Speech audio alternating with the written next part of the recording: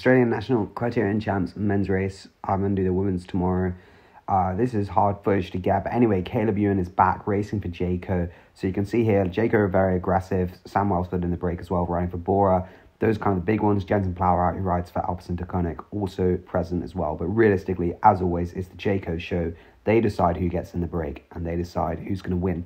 So this is the circuit.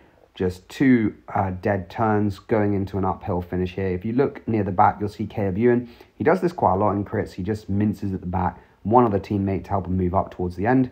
Um, but we skip forward a little bit, and this is where Caleb Ewan actually decides to attack. This is kind of like 20 laps to go, so maybe 40 minutes left. He just decides, ciao, ciao, boys.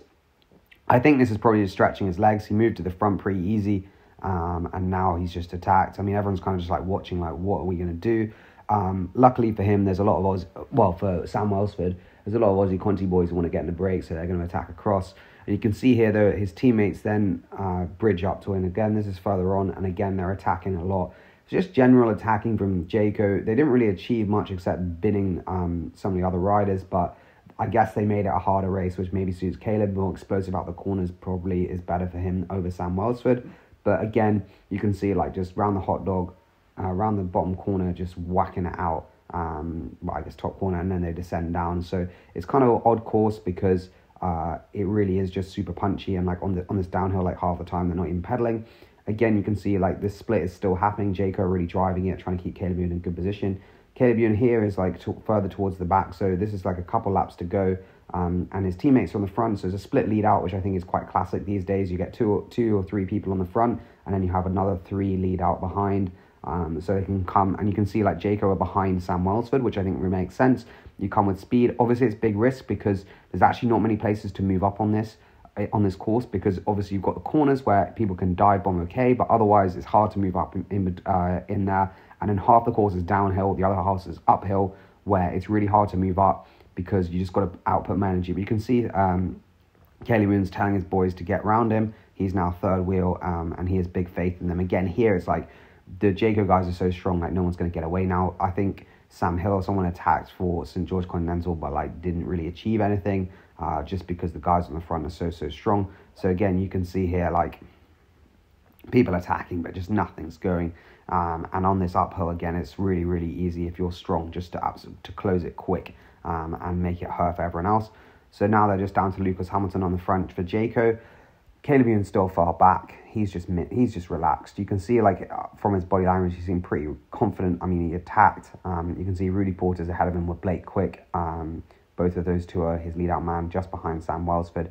You really notice how big Sam Welsford is. He's actually a huge unit. He does a lot of watts though. Seen eighteen hundred watts on Strava, so he's definitely very like strong in terms of pure sprint. Um, and I think he'll probably have a good year in Bora, especially on the faster sprints uh, in UAE Tour, for example, just because he's got so many watts.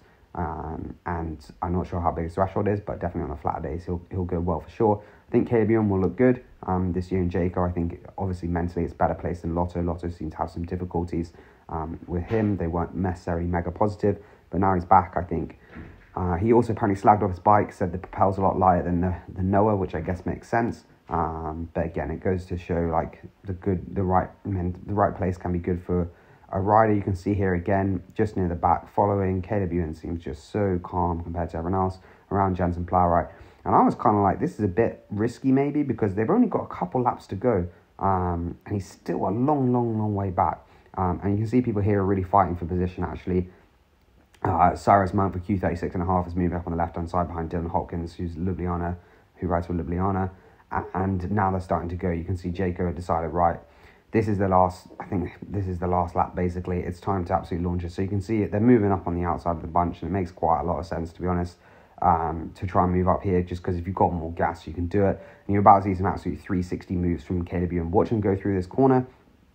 Around here you'll see his lead, slightly loses his lead out. The camera actually pans away but he managed to slot through a gap um, in between Jason, Jason Plowright and the um, Oceania national champ or continental champ kit who's in white they kind of miss it around this corner, and when it comes out uh, down here, it's fast downhill. Caleb Ewan's, I think, third wheel at the moment, and it's just like chow chow. Once you get up to speed here, um, sorry, fourth wheel got a uh, BridgeLane rider ahead, and you can see here, like, once the Jayco boys really start leading out, no one else is close. It's just a fight for him, for his wheel. Jensen Plowright looks like he's winning it at the moment. Uh, Sam Welsford not the best position you can see here. Caleb being so relaxed going into the last corner, tightens his shoe. Again, he's got full trust in the lead out.